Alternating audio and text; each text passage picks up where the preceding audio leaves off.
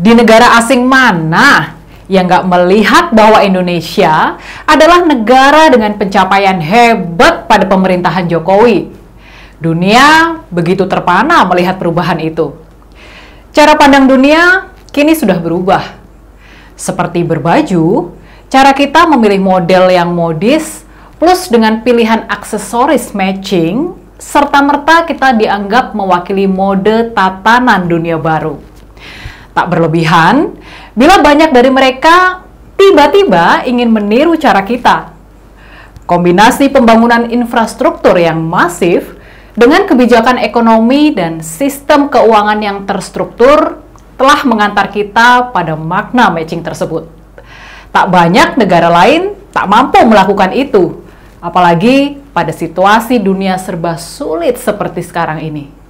Kita leading, ketemu lagi di Opinita, Opini Leonita bersama saya, Rini Budoyo.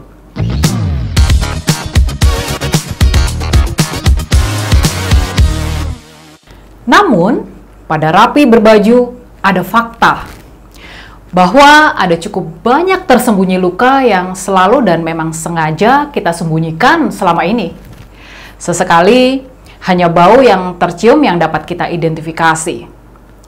Kadang, pada sekilas tampak rapi baju kita pun tiba-tiba muncul bercak. Ada luka lama kembali terbuka dan baju kotor kita. Buru-buru kita bungkus luka itu dengan perban.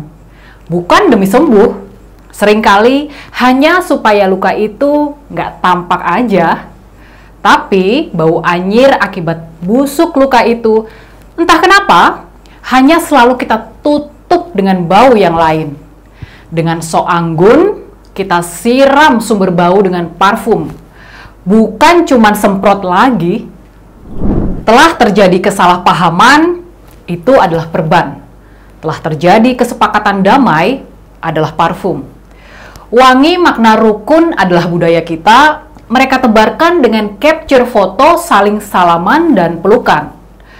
Sudah hanya begitu aja, berulang kali keributan yang memakan korban selalu berakhir dengan konsensus berhias materai. Bahwa nggak lama lagi luka itu bernanah dan kemudian menebar bau anyir lagi, cara yang sama akan kembali mereka lakukan.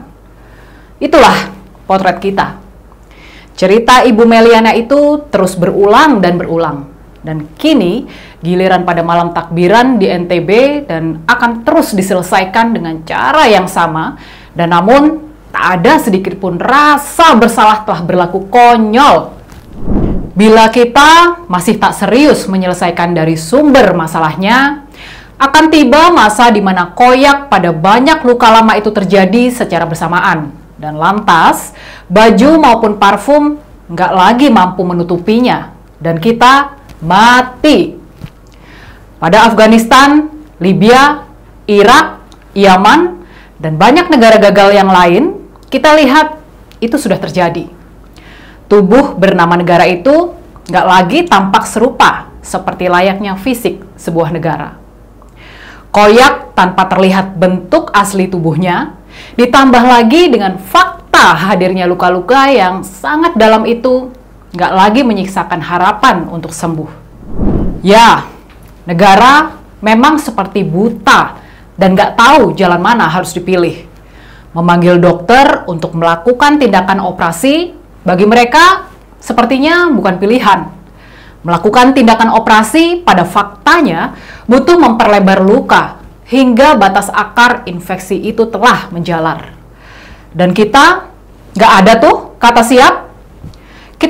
Luka yang makin lebar itu dilihat banyak orang dan akhirnya kita malu sendiri. Memotong jalur infeksi oleh aparat keamanan akan menyentuh kepentingan banyak pihak. Dan itu seperti makna memperlebar luka di mana aparatur negara memang nggak siap, apalagi mampu. Dalam baju politik, aparatur negara itu bilang demi stabilitas keamanan. Namun dalam fakta, mereka itu terlalu minder dengan jargon mayoritas, padahal faktanya kelompok intoleran itu sangat minoritas yang kebetulan aja dijaga dengan uang dan kekuasaan. Allah. Akbar. Fa'fu anna ya Allah. Allah. Takbir. Allahu Akbar. Allah. La haula wa la quwata illa billahil aliyyil azim. Allahu akbar.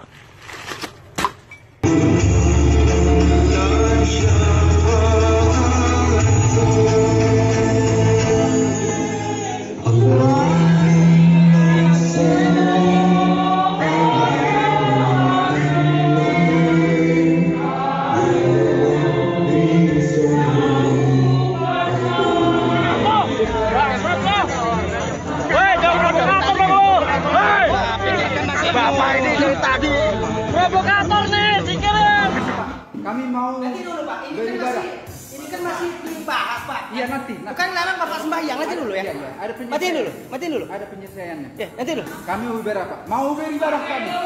Kami mau beribadah. Kami mau beribadah. Matiin, matiin dulu, matiin Di dulu, kamera matiin dulu. siapa yang men- mengadakan perusahaan di kamera? Kami mau beribadah Natal. Tolong di kamera siapa yang Natal seluruh dunia.